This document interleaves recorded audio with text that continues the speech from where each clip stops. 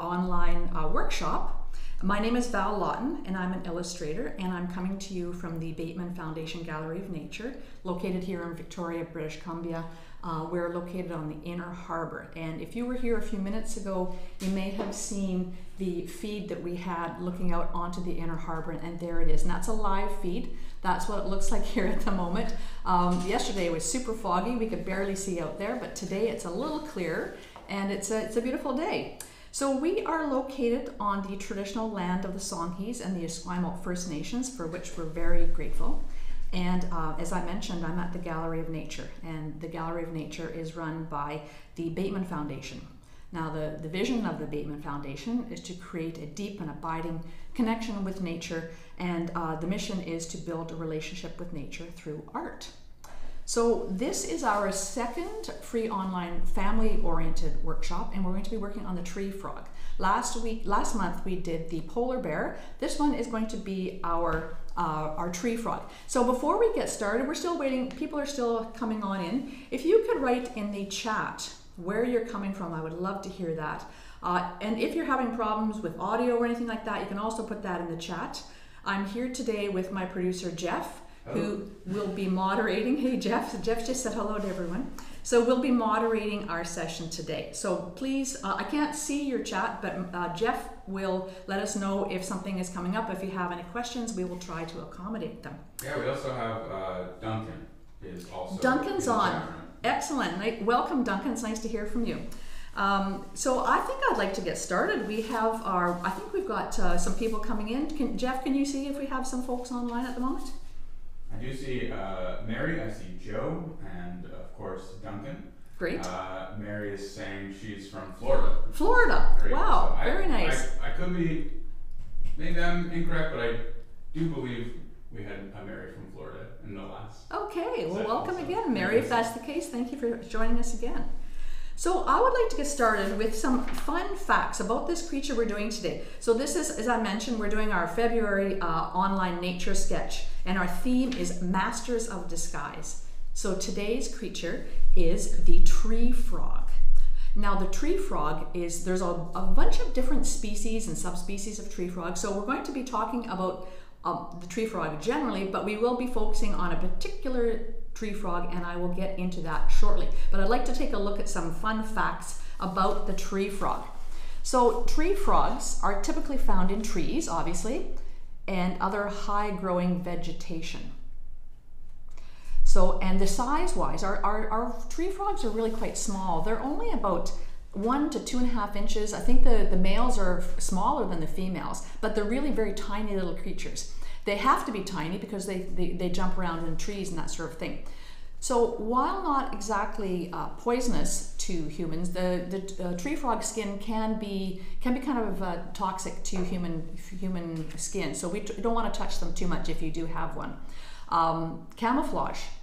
The tree frog relies on camouflage to protect themselves from predators. I'm going to talk a little bit more about that when we get into the, the, the tree frog that we're drawing today because the um, the way that they use camouflage to protect themselves.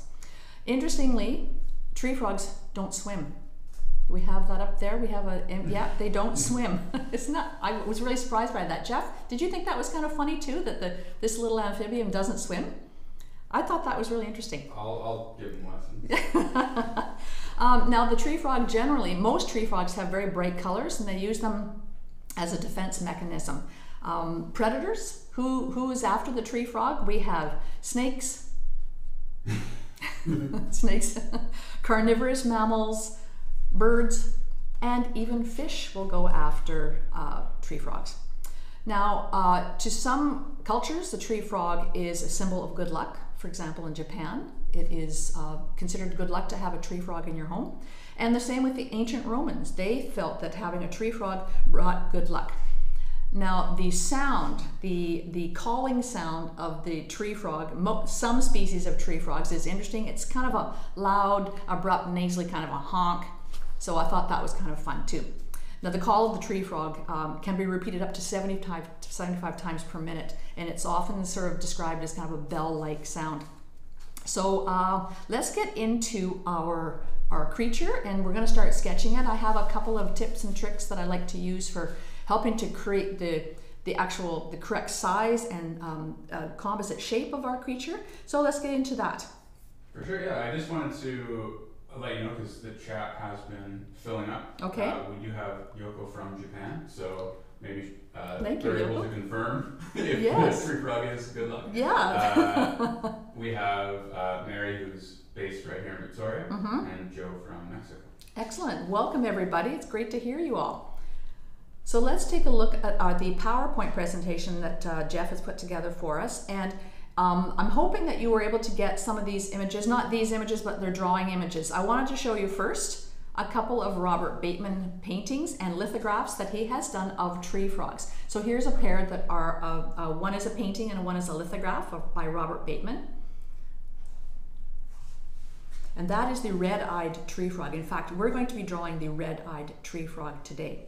Let's take a look at the next one, please, Jeff. And this is a lithograph of Robert Bateman's. Again, these are, imagine, these guys are really tiny. These are only about two inches long. And they have, um, their, their, the pads on their toes are quite sticky so that when they leap from tree to branch to branch, they, they are able to grab on and stick to what they've, to stick to what they've landed on. And the next image, please. Okay, here is the little frog that we're doing. Now the image here uh, is he's, he's quite well camouflaged and this is the red-eyed tree frog. So this guy, when he wants to camouflage himself, what he does is he, he puts his legs underneath him because look at those legs, they're quite a bright blue. So he tucks them underneath himself and he, so that all we see is green and his eyes he has three eye sets of eyelids so when he closes one set of the eyelids we can't see the bright red any longer so that is no longer an attraction a predator wouldn't be able to see that bright green uh, but he can also see through the, the tree frog him or herself can actually see through those eyelids and see if something is coming. So this is the tree frog we're doing. Oh no, we're doing a slightly different image. It is the red-eyed tree frog, but the image is slightly different. So let's go to our next one, Jeff. There is the tree frog that we're doing. So we have cut him out so he is on, um, he's nice and isolated. We can just, he's a discrete image of a frog with nothing else to sort of distract us. And he's full color here. Now the, uh, the um, purpose of today's class is to work with, we're working with black and white. So we're going to be using pencils, erasers, and our sketch pad paper. If you have a sketch pad, that's great. If you have to work on something like photocopy paper, that's fine too for today. Absolutely fine. So here is our um, the image we're going to be working from. And I've also broken this guy down into what we call composite shapes. So can we see that one, Jeff? I've overlaid our little tree frog with a series of shapes. Now, it, it initially it kind of looks a bit odd, but it really, you're, you're going to find, I hope, that it really helps to understand the shape of our frog when we've broken them down into, into the shapes that we all understand. Everything in the world can be broken down into shapes, um, you know, including buildings, refrigerators, uh, boats, and natural wildlife as well. Now, those shapes are a little, maybe a little bit harder to see and identify, but um, they are, they can be broken down into shapes. So let's take a look at what it looks like without the frog underneath it. And these are the shapes that we are going to be working from today. So I would like to get started. We have, um, uh, I've got my piece of my sketch pad here and a pencil. I'm using an HB pencil, or sorry, I'm using a slightly darker pencil. I'm using a, a black one here so that you can all see what I'm uh, working on. I'm going to make sure that you can see the uh, frog in the upper left hand corner if you don't have that yourself. So here we are. What we're going to do, we're going to start with sketching our shapes here. Now these are what we call composite shapes. And you're looking at it, you're probably going, Val, like, what is this? Why are we breaking it down into all these weird looking shapes? Well, we will see momentarily just how useful it is to kind of understand what's going on with those shapes and those shapes relative to the other shapes. So let's go ahead. I've got my pencil, I've got an eraser, and we will get started. I'm going to draw my composite shapes and I'm going to draw them really lightly. So I'll, I'll say this a few times over the next little while. Don't press too hard when you're doing these initial shapes because what we're going to want to do is go in and erase those shapes. We're going to want to erase these shapes, so don't press too hard. Okay, I like to start with the largest, most significant shape, and I think at this juncture that would be the, the oval the oval that represents the body of our tree frog, our red-eyed tree frog. So I want to do this shape here, and I'm going to do just an oval on my sheet here. And it doesn't have to be a precise oval, but we're just going to get the basic, basic understanding of our frog's uh, body shape in here. So it's very rare that someone can go in and just do a perfect oval or a perfect circle. So it may take you a few, a few uh, passes to get that right. And it doesn't have to be a perfect oval by any means, but it's a good start. So I've got myself an oval. I'm going to go in with a pen with an eraser and I'll remove some of these stray lines. I don't want, I don't need all of them. What you could do as well is for if you're joining us next time, you and you get your um, you get your shapes ahead of time. You could also uh, sort of trace them out onto your piece of paper. That's a possibility too. And that way you wouldn't have to do what I'm doing here is to you know work away on getting that uh, to be a perfect oval. So I've got my oval here. And the next thing I want to do is I want to add the, I want to add the head to it. So the head is represented by a, a, um, a circle. It's a perfect circle. And I've broken that head up into four, uh, like I've got crosshairs on it, like I've broken it up into a pizza. So let's take a look at where that oval, where that circle is going to reside on the oval that we have now laid down. This is our very first building block. We want to add the circle to our frog's head.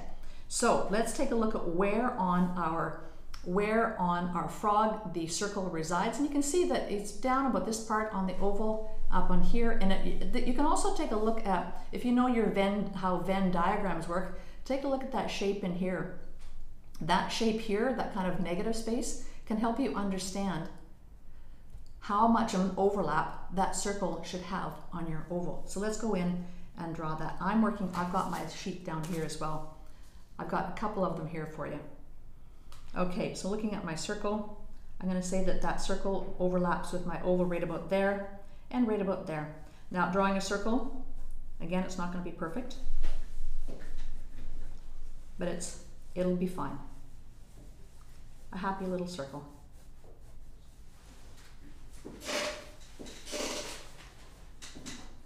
And you'd like to be able to get your circle relative to the size of your oval about right. And I'm realizing now, I think my oval needs to be a little bit longer. I'm gonna just extend that slightly. Looks like a bit of a mess at the moment, but it's gonna look great. Believe me. What I have to get rid of eraser crumbs is just a little paintbrush. It's an inch wide flat tip brush that I go in and I, am able to use my, get rid of my eraser crumbs with that. Um, I find it better than just wiping it off with my hand because I tend to get graphite on the bottom of my hand. Now the pencil, Pencils and erasers work so beautifully together and I will be doing a lot of uh, laying down graphite is the term and also then going in and removing, lifting off graphite. Okay, so I'm quite happy with my body shape and then I've got my head shape. So let's take that head shape and we're going to break it up into the, we're going to lay that, uh, the X and Y axis on top of that circle. And this is going to help us understand where the eye resides and, and the, slit, the slit of the mouth. This will help us understand where the uh, rest of the um, structure should, should exist. So I'm going to break my, my uh, initial oval into four. And as you're doing this, you can realize already what mistakes you've made. And I can real I see that I should have made my oval, uh, made my circle a little more cast into my oval. That area here is not quite large enough because my crosshair should go down in the middle of my the middle of my, or past the oval shape here, this area here. So I'm going to redo my circle, or do redo my oval, get it just right, or better than it is anyway. And that will help me get my final frog looking a lot better. Okay, so that's pretty good. I'm gonna do that pizza pie shape, breaking up my shape into four and you can see that the midsection of your circle goes just outside the oval. There's that little space in here, that little space just up in here, right down in here. So that's pretty good. I'm quite happy with that. So now we've got our body, we've got our head, and now let's take a look at where those legs are. And as you can see, I've made his feet or her feet almost into they almost look like wagon wheels or something or wheels on a, on a vehicle but this is also a great way to understand how how big the whoopsie, excuse me, how big the feet are relative to the rest of the body. And you can see that they're pretty large. If you didn't have this kind of reference, you might think the feet were actually smaller than they than they are. So that is why we've done that. I've broken those down into, I've added circles around those feet to give us an understanding of just the size of the feet. Now what I've done here is I've just done uh, lines to indicate where the, uh, the legs uh, come out from the body. And those lines follow right through the middle of the leg. So we're going to have equal, equal distance when we do our form. There's going to be an equal space around either side of those limbs. So I'm going to just draw a general, just kind of a stick, stick shape in here. Oh, my, uh, my uh, image has disappeared. Okay, so I'm just going to draw a stick in here. Okay, dank down about there. That other back leg is going to go up in here. And he looks a bit spidery like this, doesn't he? A little bit spider-like. Down here. And then my the uh, other, the left hand leg comes out right about here. And it's, it's a little bit straighter than the other two. So there we are. That's what I've got so far. And we're going to get that image back up here. I can put that here for now, Jeff. Does that help? That's awesome. Thanks. Okay. So let's put that there so we can see what we're doing. Um, and now we've got, so we've got the body shape, we've got the head shape, which is broken into our, our quadrants. I've got the, the basic structure for the legs happening here. And I've also, now I'm going to go in and draw those feet in. Now, one thing I have not included is I've not included the back foot here. This is something we will worry about later on. It was a little bit, a little hidden, and that, but that is something we can accommodate after we've done some more detail on our frog. So let's not worry about that quite yet. Okay, so I've got my basic shapes here, and I think I'm fairly happy with them. I'm gonna extend that leg a little bit further. Now I want to go in and create those circles, these circles that represent the, the whole area, the whole, the, sort of the real estate where that foot resides. So let's take a look at that. And I'm going to draw a circle here. Now that circle is pretty close to the size. It's not that much smaller than the head. So let's keep that in mind as we're, as we're drawing our circle. Look at the difference. That width of the circle for his foot, for his back foot, is only a little bit smaller than the head circle.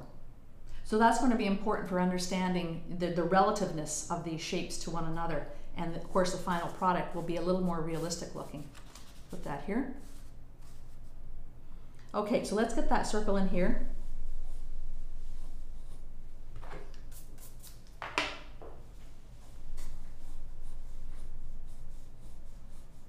And again, very few people can go in and draw a perfect circle, myself included.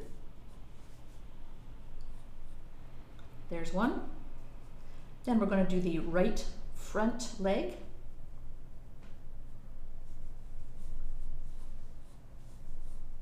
Now, if you don't have these, these circles in the exact right spot, that's fine. Uh, this means that your tree frog will be in a, maybe a slightly different position than the reference tree frog. By the way, when Robert Bateman is drawing his, uh, his creatures, he always uses a reference image. It's very rare for him to go in and just free form, just think of an animal and draw it. He, he almost always uses a reference image, which is, I, I think it's um, a, a, really great way to work. I, I can't sort of imagine what a tree frog looks like without looking at some sort of, having a subject to look at, having a model, and we've got a great model here today. Okay. So there's the approximate shapes of my feet. And I'm going to break those ones up also into, into uh, the, the pizza, then quadrants, like the X and the Y axis. And that will help us understand where the toes go. When we move on to our next step, which is to sort of create the form, the form of our, of our little frog, that will help us understand where each of the toes fits into that quadrant. Okay, so let's do that. And it's going to break it down here.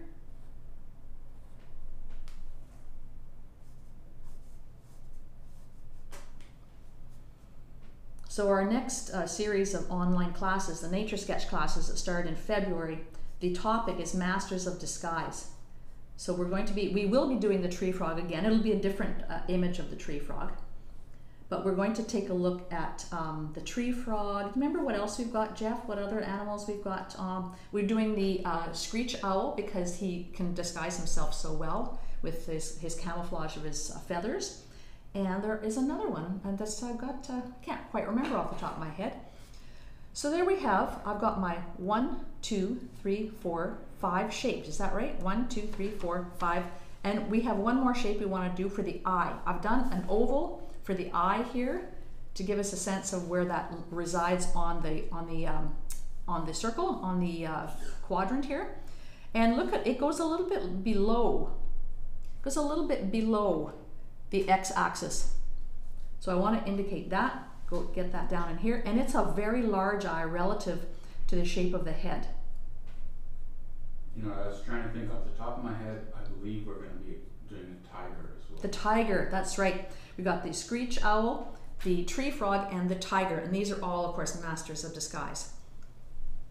Okay, so I'm looking at my little guy here, and I'm, I'm pretty happy with the basic shape we have here. I'm going to go in just to uh, uh, erase a few little stray lines here, so I've got I've got it a little bit tidier, and as you can see, as we get to this point, you're going to say, oh yeah, I shouldn't have pressed too hard, but there it is. This can also be a, a draft of your tree frog if you're unhappy with the final result.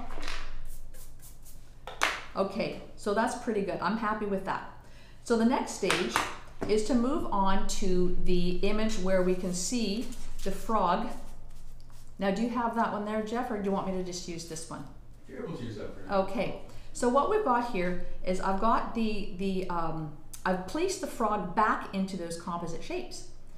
So our goal now is to kind of, it's kind of like being a little ant or something. We're going to crawl along with our pencil. We're going to create the form, fill the form in using those composite shapes as our guide and follow around and see where the, uh, like for example, where the mouth sits on that, that composite, on that circle and where the eyes fit in. The head is probably, uh, the head and the feet are both equally complicated, I'm going to say. Those feet are probably going to be the most complicated. But let's start with the eye, the face, and the, the shape of the head. So let's go in here, and I'm going to sharpen my pencil. I want to have a little bit sharper. I've always got my pencil sharpener handy. And I want to go in and take a look at where the side of that head fits into our, our circle here.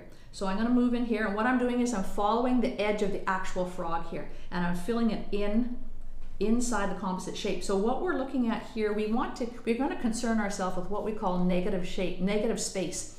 So this area here inside our composite circle, where there is no frog, that is called negative space. So that is really helpful in understanding, um, you know, where the frog is and where the frog isn't. And we, we've got it down into nice shapes here, so it's, it's, it's sort of more bite-sized pieces. So within this quadrant, you can see that the negative space is about this area here. So when it comes time to actually fill, draw in the edge of our frog, you can take a look at the negative space. And I realize now I probably should have made my eye a little bit further out. And you're going to find things as you as you're working, you will discover you made a you want to tweak something a bit. So I'm just tweaking my eye. It's a little closer to the edge of my the frog's head. And I'm going to go around here. And then that area here, look at the distance from the top of the circle to where the top of the frog's head resides. And it's about there. So we've made it, it's almost like a little bridge between the two going across here. And then our second eye bulge, we can only see the one eyeball, but the other eye sort of um, bulge here comes out and it's a tiny bit higher than this one, not much, just a little bit higher. And again, that's a perspective thing at work there. And I'm gonna go around the edge here, and it's gonna end right about here. Fill in that area here. We can always tweak as we go. So we've started getting the shape of our eye and the eye bulge, and our face is coming into, into focus here.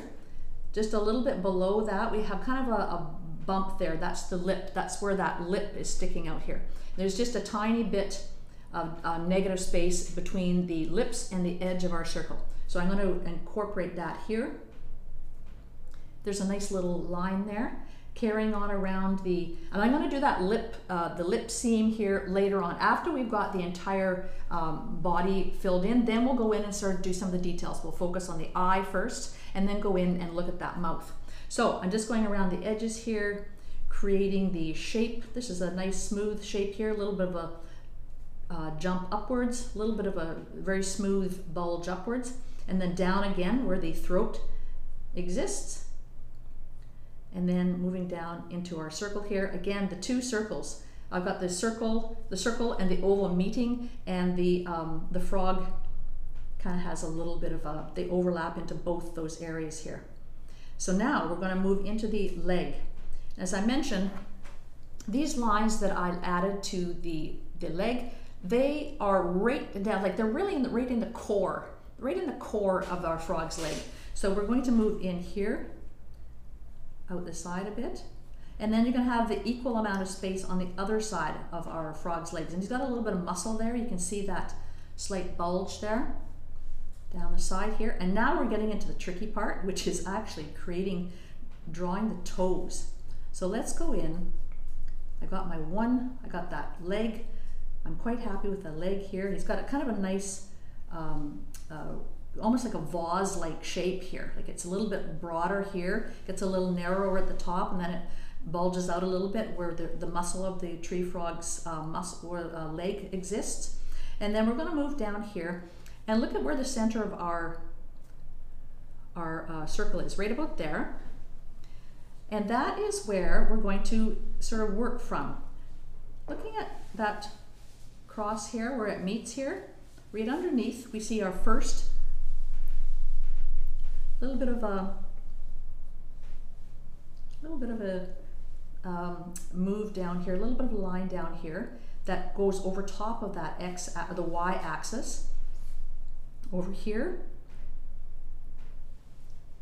that toe comes over to the edge.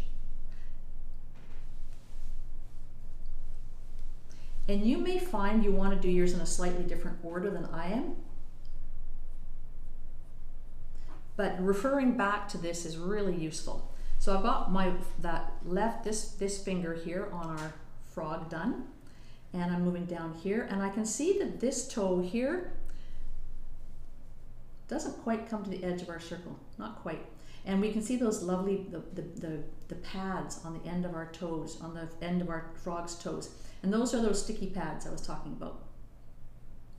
Now the crevice between the two toes actually comes right up to the x-axis, so we'll put that in there. This toe here, sort of the index finger if you like of the toe, I'm not sure if it's called an index finger or not. It's also at about the same level as this, as this toe here. So I'm going to give myself a little sort of a rounded edge here. And you can see that they have They've got those round, they're, they're thicker at the ends where those pads are, and then they narrow out again. And this one, the side of that toe comes right up to the x-axis and it meets it. Actually goes a tiny bit above it, but not exactly. Doesn't mean, doesn't have to be precise. The uh, thumb, we have a bulge for the thumb here, and we'll fill in that part here. So there is my first foot. I'm feeling pretty good about that. I hope you guys are doing okay too. Is there anything in the chat, Jeff? Does anybody have any comments? Am I going too fast? If I am, please do let me know.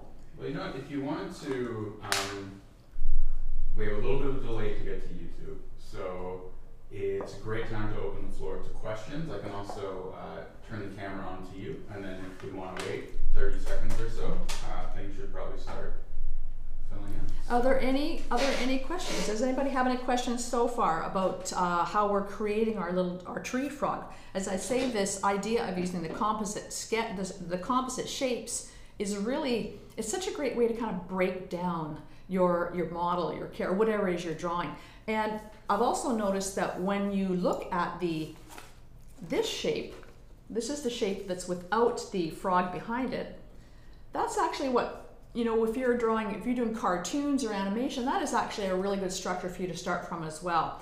And you could do something that's a little less realistic looking, but it also, but it gives you a great kind of sense of the overall shape of our, of our creature. Now, are there any questions so far? Am I going too fast? Is everyone cool with that? I will carry on with the uh, right side foot if we're if we're set to go. Okay, Jeff, I'm ready Oh, to. you know, there Yeah. is, uh, I know you're ready to jump in. Uh, so Mary asks if you know how Robert would begin his sketching process. Excellent question. And this is very much how he would begin. He is very much, um, uh, he's got these tools, these artistic tools that help to create the impression of three dimensions. You know, of course, as artists, we're doing things on two dimensional surfaces, and we need things to help us understand what things look like in real life. So, the, the idea of using shape and, and creating shape on two on two dimensional surface and then adding the form and that's where we add the like the the ability to the the, the three dimension the third dimension using different lines using shading which we'll get into shortly so to answer your question yes robert bateman does use this kind of um, uh, this kind of a process. Now, because he's such an accomplished artist, he may not start like this the way we are right now, but it's certainly something in his mind when he is, is working on something is what shape is that is that uh, great horned owl? What is the basic structure of that? Where do the eyes fit on the on the face of my owl? So um, understanding the sort of the, the use of composite shapes is definitely something that he does. Excellent question. Thanks, Mary. Okay, let's get back to our sketching here. I want to do the right front. Um, I want to call it a paw, but it's not a paw. Uh, foot of our little our little um, frog here. This is the red-eyed frog. For those of you who are just joining us, this is the red-eyed frog. So we're going to go over here. We started off with. Oops, I need to flip this side. I got this guy for you. In the corner. He's up there? Okay, there he is. Okay.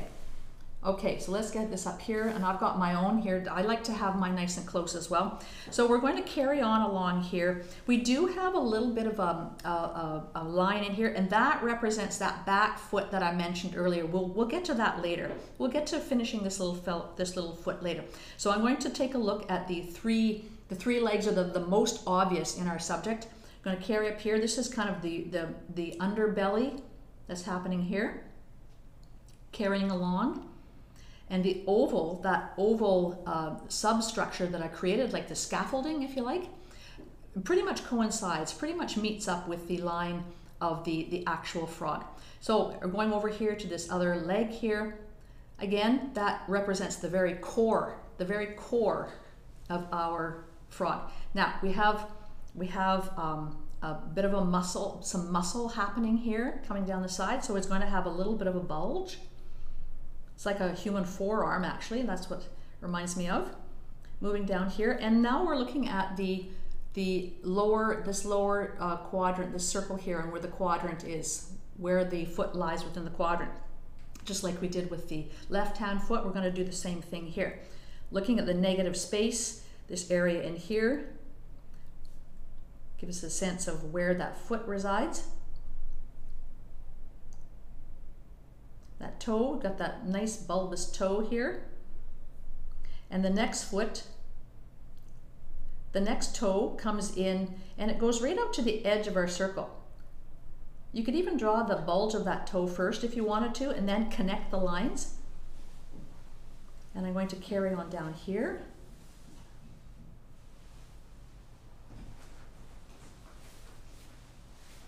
And then our third toe here, this one here, comes down and it's still within this quadrant. It's still within the lower right hand quadrant. So let's keep that in mind.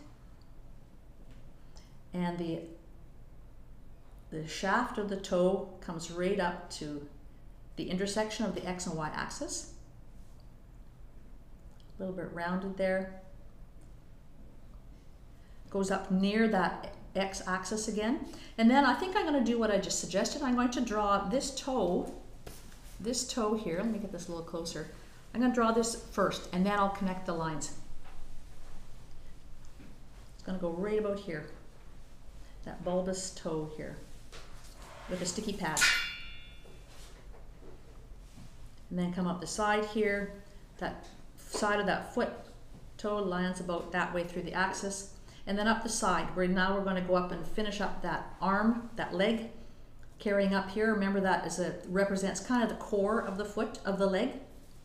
Trying to keep that, that line that you indicated in the middle of our frog's leg. A little bit of a nice uh, gentle curve as we go up the side of the um, the, the muscle around the leg there, and then we move up to just below, just above, slightly above the oval. There's a tiny bit of a, a tiny bit of negative space right there. It's really tiny. You might not even be able to see it, but there's a tiny bit of negative space there. We're going to leave a little bit of a, a hole there, a little bit of a white spot there. So now I'm carrying on with my back leg here. Again, this the back leg is a little bit thicker for obvious reasons and be a little bit stronger. Carrying on down here, it's almost like a web. This, this uh, flesh here is almost web-like. And it come down here, and I think I may have drawn this initial line here a little bit too short, but I'm gonna work with it anyway, we'll be fine. Move down here, and once that we get into that circle with the, the quadrants, we can understand then where the toe is. I'm gonna draw that toe first and it goes right up here against the edge of our, our, our um, split circle. Right up there. And then we have um, a little tighter web that we had with the, this is um, the webs here that we see are a little bit tighter than we saw on our first toes. Going up here. So you can see how breaking the shapes, breaking it down into shapes really helps you understand where things actually exist on our creature. Doing my toe here. And these toes, um, this is, of all the animals we do, this is probably the most complicated set of um, toes or little toe uh, claws, if you like, that we have done before. There we go. And this other toe here, so we've got one, two, three, and we can see all five of them in this one. See the back leg, the back foot has five toes. I'm gonna go down, I'm gonna take that toe up here. Again, that pad, like the rounded pad here. The web stays within the bound, within that uh, crosshairs here. Goes up, goes beyond the x-axis. And then we see there's the other toe here. And I see I've done, I've miscalculated a little bit. I should have had that toe a little bit higher, but I'm going to make do with what we've got here. That's, you know, again, like as Bob Ross says, a happy little accident. Then we're going up here and finishing up the, the uh, edge of our frog's legs and carrying up the side here. It's, it's a little bit a little bit wonky here, a little bit of uh, um, uh, some contours here on the leg that you can include. Again, the muscles and the bones underneath. And he's a little bit more padded around that knee area and then into here. So I think we've got everything here on our, our basic shapes. One thing I would like to do before we uh, start on the eye is I would like to get that, that slash in for the mouth. So let's take a look at the mouth, go back up to our head. And the little, the little, um, these little lumps here that indicate the, the sort of the silhouette, the profile of the lips, that's where we're going to take in that line. So let's look at where that line goes. It crosses over into here and it goes, it ends at this area here. In fact, you may want to draw the end point first. The end point of that little, that mouth. And it crosses over where the oval and the y-axis goes. So it's going to cross right about there and keep it up there. If I'm going too fast, everyone do, everyone do let me know. Keeping an eye on our chat here. Okay, so I'm pretty happy so far with what we've got with our shapes and whatnot. There was really, there's really nothing else that we need to use our scaffolding for. We've got the feet, which were the hardest. We've got the head, and we've placed the eye. I'm gonna just open that, open that up a little bit more, a little bit rounder. We've got our eye and we've got our mouth position. So at this point, let's go in and start erasing those um, scaffolding lines. I'm gonna grab my eraser and we will start erasing those. I have a couple of erasers. I have this kind of eraser, you know, the, the white eraser, the white vinyl one. I've also got a smaller eraser that make, lets me get in and go quite tight. But I'm going to use my larger eraser for erasing those scaffolding lines and get that in, get into the eye. And it's, he, our little guy's really starting to take on some, some personality. A little, I've got a tiny bit of a smile on his face. Make sure you don't erase the lines that you've just drawn. And now it becomes clear why you want to have major scaffolding lines fairly light.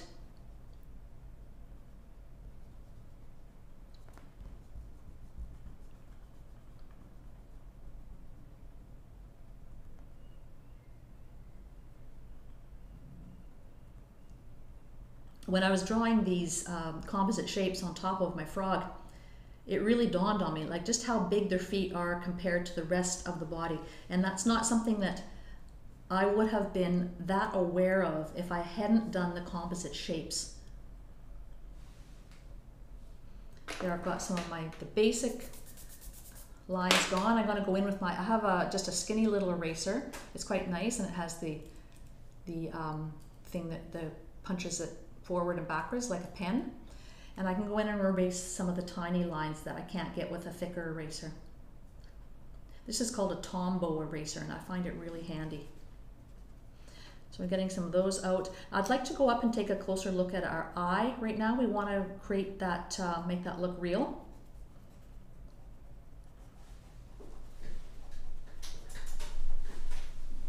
Okay, so let's go in. We've got our can we get the regular without the scaffolding on it, just the picture of the frog up there, Jeff? And I'm going to go in a little bit tighter as we look at our eye, the frog's eye. How's that? A little bit tighter here. Okay, so now we have this nice eye that we want to have a go at. We want to make look real.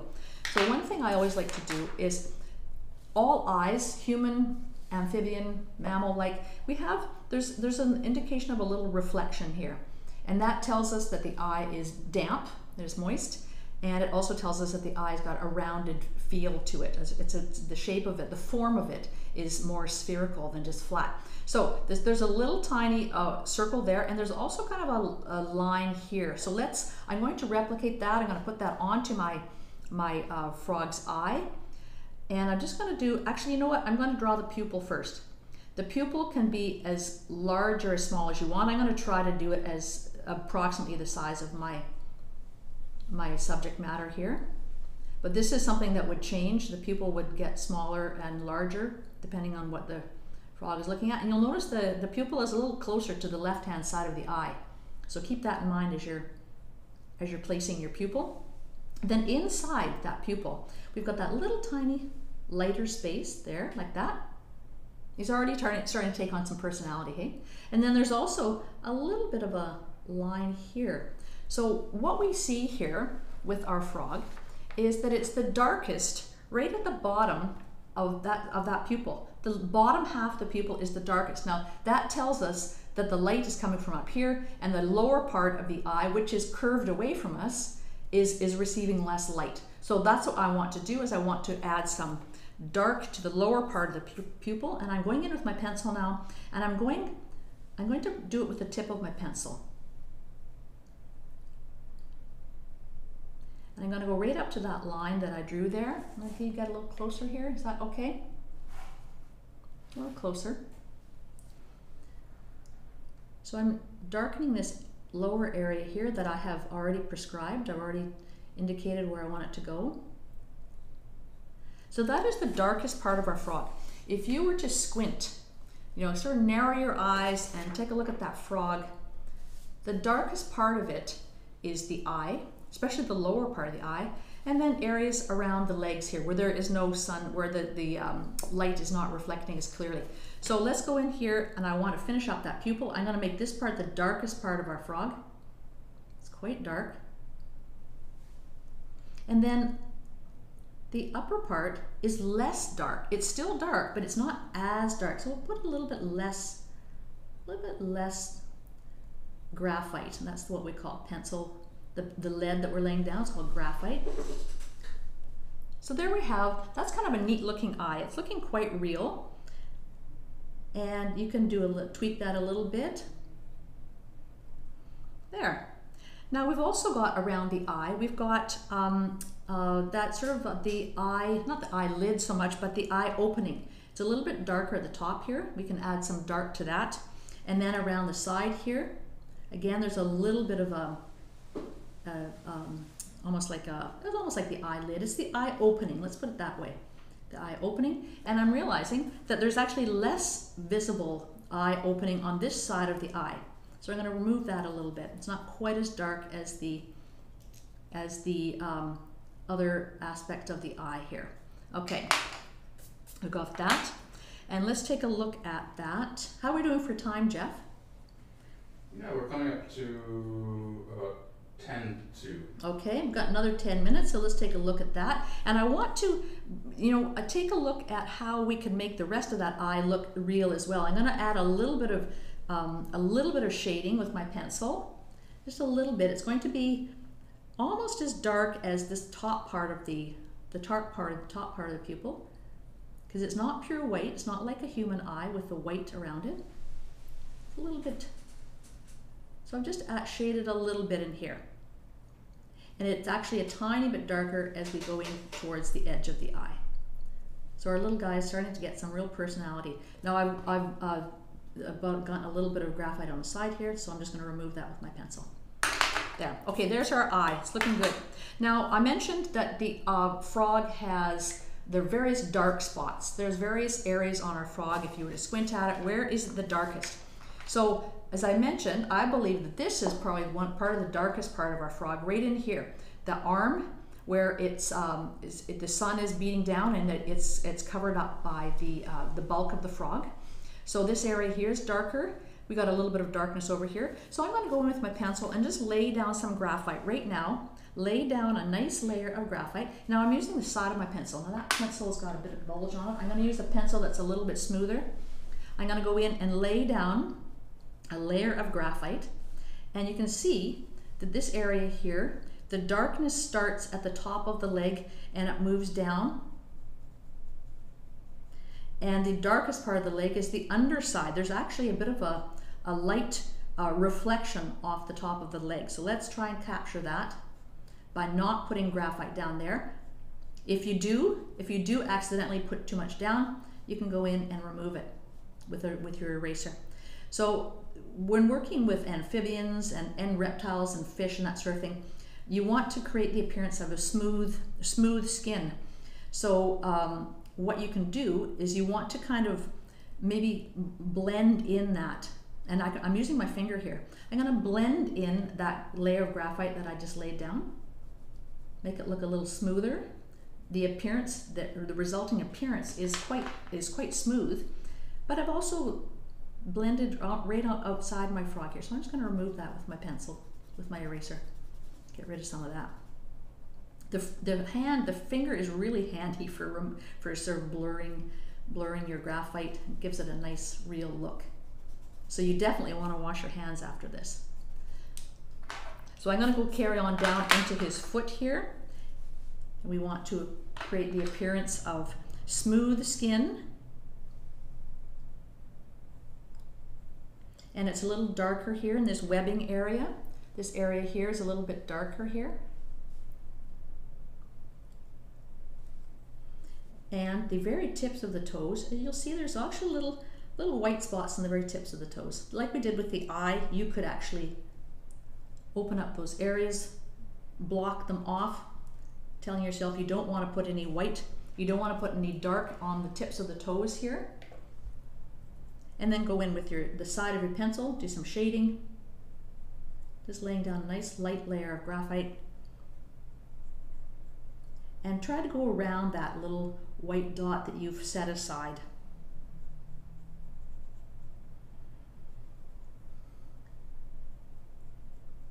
Getting in here, leaving that white spot. Now you notice there's also sort of um, a set of wrinkles on the top of our little frog's foot here. So we can get that with the tip of our pencil. We can also darken up areas like underneath his the, the toes here, it's darker. We want to darken that between the two, a little bit darker. And I'm using the tip of my pencil and I can see that I also want to do a little bit of a darkening around, around that, um, sort of like at the wrist area, a little bit darker there. Now I mentioned that there was that kind of, those lines, almost like wrinkles on the side of our frog's foot or on the top of our frog's foot in this area here, right here. If you look closely at your, your reference image, you'll see that. And you could, with your tip of your pencil, just try to draw those lines in. Again, I'm using the tip of my pencil, not the side now. There's a few lines here. And that gives it a look of realism. I'm going with the tip of my pencil just up the side of the leg here to give a little bit more uh, definition. And then we do have, because that leg is wet, you might have a little sort of a channel of, of a darker of a darker graphite coming down the side of it to give it the, the, the reflection, the look of the reflection of water coming off the amphibian's skin. So what I did, just to reiterate, is I laid down some graphite first and smoothed it out. And then with the tip of my pencil, I go in and added a few little details that, that, that make sense, that make that frog come to life, make it look a little bit more real. So I'm just adding a few more details here, a little bit, of, adding a little bit of darkness here. The more layers, uh, more tones that you can add, the more realistic something looks. Now when you do something uh, with a dark shade, dark tonal value, that tells us that the area is receding, it's going back in space. So that's something to keep in mind when you're sketching. How are we doing for time, Jeff? I don't want to go over time. Yeah, we're still doing uh, still doing well. Uh, we are uh, it's one fifty three. Okay, we've got another seven minutes, so we've got that one foot. Let's take a look at the shape of the head here, because there's some really interesting stuff going on with our with our frog's um, the shape of his noggin. So let's take a look at that. So we have down here um, the, the bulges that come down around. And the top of the bulge on this eye swoops around here and it, it sort of creates a little panel path down here. So we'll notice that on top of that eye, on top of that bulge is a little bit of darkness, just a little bit. Again, you can put some in and smooth it out a bit if you want. And then that darkness now this pencil is not causing me, is causing me grief. I'm going to move on to another one. That darkness is a very, very gentle, a very gentle, um, smooth gradient of, of tones, as we say. It's not, those aren't harsh, harsh, harsh um, differentiations between tones. They're very gentle. And that is what tells us that something is smooth, if there's a very, very gentle movement uh, of shades between, between areas. So around the edge of the eye is a little bit darker here. There's some tonal values here. Around here. Now you'll notice underneath that lip is quite a bit lighter. So let's take a look at that here. We've got the lip here, the crease where the, um, the darkest part is, or the deepest part of our frog's mouth. And that's where it's the darkest. And then as we move up and away from that that crease, it gets a little bit lighter. It's still, it's still darker, but it's not as dark as the crease. So you can move up and then underneath it, I'm going to add try and add a little bit more here. And I can smooth that out with my finger.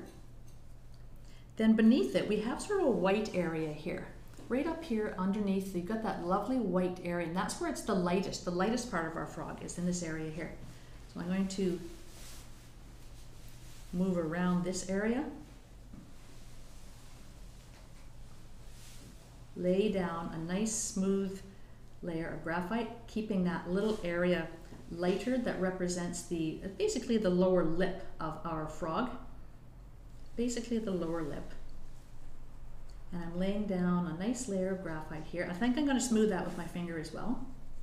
And if I go outside of my frog's body, I can just erase it, can't I? So I'm smoothing that out a bit. Out a bit. That's a really good. There's also those little what they call a tortillon. They're little. They're made of paper, little paper sticks. Uh, one of my students yesterday pointed out that you could use a um, Q-tip, which is a great idea. So I've got my. I've blocked out that layer where it's quite a bit whiter, and I'm going to work with that. I'm going to darken some areas and I'm keeping my eyes on my reference image. I'm, I'm really, you know what, I'm spending about half my time looking at my reference image.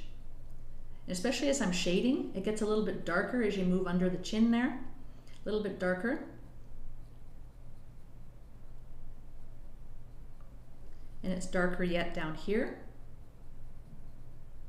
And as you're as you're adding different tonal values, that's when you realize, oh yeah, this this top of this leg needs to be a little bit darker because it recedes even further than the than the chest of our frog here. So you can carry on doing that as you're moving. I find I do a lot of on the you know deciding as I'm going, oh this needs to be changed, that needs to be changed, and I think that's pretty common. So I got my lower area here. Again, it's a little bit darker right under his, his chin there. And then let's take a look at the top of his, that nose, that, that snout area. It's fairly dark there, right from the lip line on up. I'm Gonna smooth that out a little bit with my finger. You're definitely going to want to wash your hands after this. That. I'm going to remove a little bit. I have a tiny bit of white that I want to preserve underneath that lip. Get rid of those crumbs. And I'm going to move on up that nose here. And I want to darken this area here of the back of that second eye bulge.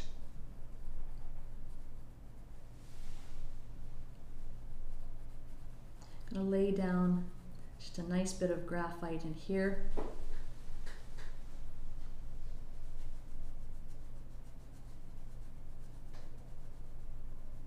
Getting up to the edge here.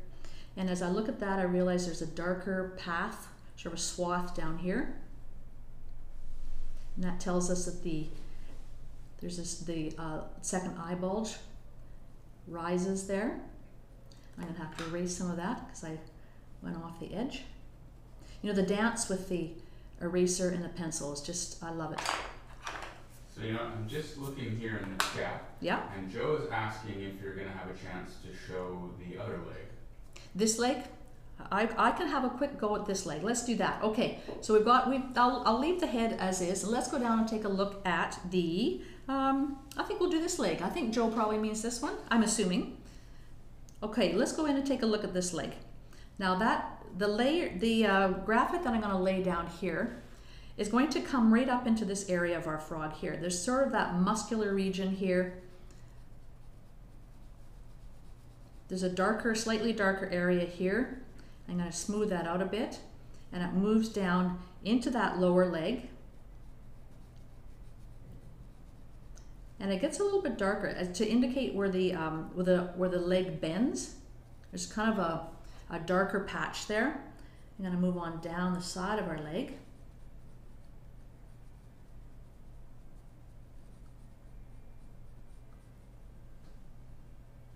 I was watching a YouTube video of, um, uh, I think it was in a, a Spanish illustrator, and I, I some, I've told some of you this already, a Spanish uh, nature illustrator, and he spends most of his shading he does in a circular motion like this which when, when you have a flat surface like this is definitely the best way to do it, I'm finding. If you had, say, feathers or fur, then you may want to you may want your shading um, uh, motion to go in the direction of your um, of the fur or the feathers or whatever it is that your your creature uh, has. In this case, of course, the amphibian is um, smoother, doesn't really have any a lot of texture to him. So I think that the the uh, round movement that I'm doing now is um, is is really appropriate.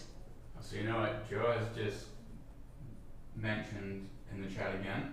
She's asking about the little leg. So from what I see, oh, this leg here. Maybe that one. Maybe this one. Okay, thanks, Joe. Let's get that in here. Let's do that right now. Okay. We still have a few more minutes, so I'm going to go in and add that in. That's a good point.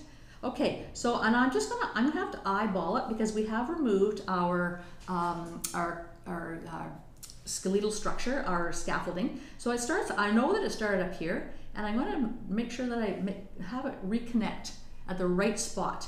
So there's just a little bit of that foot we see, isn't there? Not very much at all. And that first toe is really close to the foot to the um, to the uh, leg, to, to the left front leg. That toe of the back leg is really close. So let's get that, and it's kind of a, it's a pad shape there. And then we have the other pad shape. And again, I'm, what I'm doing here is I'm doing the ends of my toes first, and then we can make the connection. If you're comfortable doing that, then you can do that. And then other toe is going to be right about there. So we're looking at how they stack up on with one another, um, you know, the, the perspective. So we can see that those toes are, one is lower, which indicates it's closer to us. One is higher, of course, furthest away, and then a little bit further out, so they're longer than the other toes. So let's go in and uh, lay in the uh, structure of the toes around them. And this will be a little bit more abstract. We're not going to have a whole lot of detail with these toes because they're a little further away, but you can get, we can lay down a little bit of graphite to, to indicate that that is a darker part of our toe. And this, the separation between the first and the second toe is a little bit darker, so I'm gonna lay down a little bit of graphite there. There. So that's just a sort of a, an indication of, of, of sort of an abstract approach to that foot. And I want to darken this area here. And that's going to be, it's dark on the bottom, and then it gets a little bit lighter as it moves up. A little bit lighter. Now to make sure it doesn't blend completely into that to that uh, left front leg and his chest, you can go and darken that chest area, just the edge, the form, a little bit there. You want it to be slightly, you want to be able to differentiate the two. So it'll be a slightly different degree of tones there. Okay, now let's take a look here. We were working on that leg. I wanted to just finish up the face here. I, that to me, that's the most important part. And I really like that, um, that eye bulge coming down the side here. You've got that neat kind of, it was almost like a car. The shape of the nice smooth uh, uh, gradient features of a vehicle. They're nice and smooth. And you can capture that with your, with your pencil. And goes down to my, underneath the eye. I realize now I didn't do the eye quite the right shape, but that's okay. And we just have a few more seconds here. While I'm doing that, I will just start doing a kind of a bit of a closing call. I just wanted to thank you all for tuning in today. So here at the Bateman Foundation, as you know, we really believe in fostering connections to nature and we run the family, the, the Bateman Gallery Nature Sketch wellness programs and partner with lots of other art and nature literacy initiatives to kind of promote and deepen the connections to the natural world. So we do encourage you to see nature through personal and intimate connections. That is the pencil and paper, and that's that's that's a wonderful thing for me. Robert Bateman does a lot of work with a pencil, with a pen. I mean, like with a ballpoint pen, which I think is fascinating. So we're very thankful for each of each of you uh, participating today. Um, all proceeds from purchases of Nature Sketch programs go to running the Nature Sketch programs and wellness programs, and it also helps provide bursaries to students who need them, and it helps keep our lights on. So right now, uh, Sunday the 16th uh, to Wednesday the 19th, all Nature Sketch courses are discounted using the code tree frog. I'm just going to write that right here. It's all one word, tree frog. I think Jeff can also write it into into our scat into our chat if you want to. Tree frog. That's how we spell. It. It's all one word actually. When I was doing some research, I thought it was two words, but it is actually one word. So tree frog. So today we talked about the tree frog, a master of disguise. What's that, Jeff? Oh, I was trying to flash it on the screen. Oh, okay. It's a broken connection. Okay, today we talked about the tree frog, and he, he, he and she is a master of disguise. And in February, we'll be continuing with this theme. Uh, we're going to explore some other masters of disguise, as I mentioned the screech owl, the tiger, and the forgotten the other one already. Oh, the tree frog, of course. We're going to do the tree frog again. So we have a junior online class. We have an adult online class with me, Val Lawton. And there will be a nature sketch cafe for a relaxing and casual evening of nature sketch with illustrator and writer uh, Sue McCartney. That will be starting in February. So uh, thank you so much for joining us all today. I'm going to carry on for the next few minutes, just doing some more shading. I could spend absolute hours doing my shading. I just I find it very zen and very very um, really a wonderful way to spend my time. I can even do it in front of the television set. I do sit down and I'm listening or watching something, and I've got my pencil and I'm just doing gentle, gentle uh, sketching, uh, gentle uh, shading with my pencil. So I find it really, really satisfying. And again, thank you all for joining us, and hope to see you in one of our nature sketch classes or in next month's um, animal, which is going to be next month. We're going to be doing um, the uh, creatures of the savannah, sights of the savannah. So that will be on February the 13th. And the creature that we're going to be doing is the hyrax. That's H Y R A X, hyrax. And he's a furry little creature that I have to do some research on still. But he is going to be a representative, our model for our February the 13th um, online workshop. Again, thanks everyone for joining me.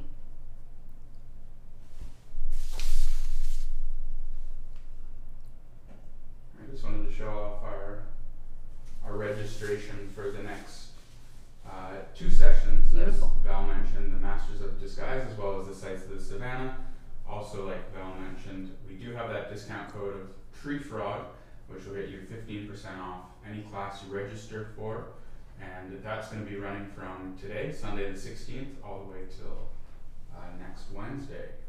And uh, hopefully, this will give you a taste of how our classes run. I think one thing to point out, which is really awesome about registering for a class, is we do this over Zoom, and there is a great community and uh, connection within the class. So I've been trying my best to forward your questions, but I do love the dynamic of students being able to share their work and and just ask those questions directly to Val. So we're definitely looking forward to any students who are enrolled and were able to tune in today, and uh, excited about students who are going to join us in the future. And most importantly, I'm going to get back to Val and our tree frog.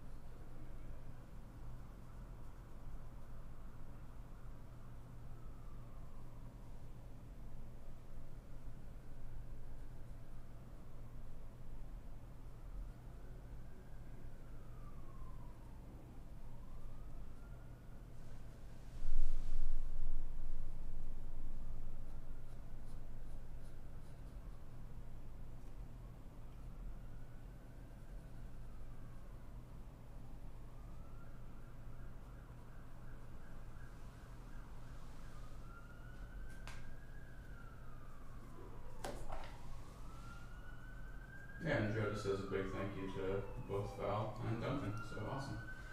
Thank you, everyone.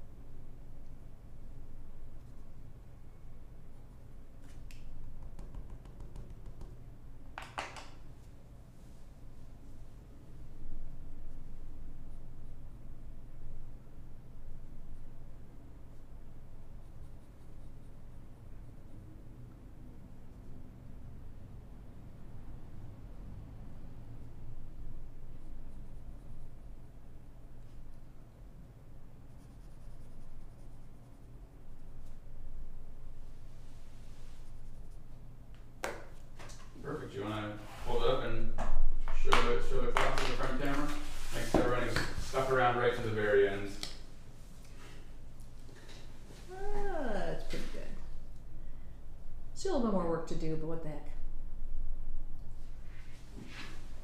That's awesome. And we'll. Uh, Thanks for we'll start. joining, everyone. Thanks Take so care. much. So, do, were there people still